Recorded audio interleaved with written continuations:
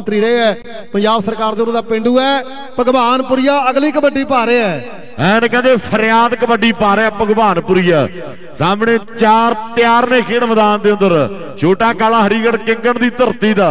ਨਾਲ ਕਹਿੰਦੇ ਕਲਵਿੰਦਰਾ ਰੱਤਾ ਥੇ ਵਾਲਾ ਉਧਰ ਵੱਡਾ ਕਾਲਾ, ਨਾਲ ਕਹਿੰਦੇ ਦੀਪਾ ਸੰਘਾ ਲੱਗਿਆ ਹੋਇਆ ਕਾਲੇ ਸੰਘਿਆਂ ਵਾਲਾ, ਜਿਹਦੀਆਂ ਗੱਲਾਂ ਹੁੰਦੀਆਂ ਵੀ ਟੀਮ ਵੀ ਚਲਾਉਂਦਾ ਪ੍ਰਮੋਟਰ ਦੇ ਸਪੋਰਟਰ ਵੀ ਆ। ਤੇ ਇਹ ਤੋਂ ਵੱਡੀਆਂ ਸਾਨੇ, ਇਹ ਤੋਂ ਵੱਡੀਆਂ ਸਾਰੇ ਵਾਈਕਾਟੋ ਸਪੋਰਟਸ ਕਲੱਬ ਵਾਲਿਆਂ ਨੂੰ। ਇਹ ਆ ਕਹਿੰਦੇ ਛੋਟਾ ਕਾਲਾ ਹਰੀਗੜ ਕਿੰਗਣ ਦਾ ਖੇਡ ਮੈਦਾਨ ਦੇ ਅੰਦਰ ਲੱਖਾਂ ਜਾਂ ਆਪਣੀ ਟੀਮ ਦੇ ਹਿੱਸੇ ਜੋੜਦਾ ਹੋਇਆ। ਰਾਜਲੀ ਵਾਲਾ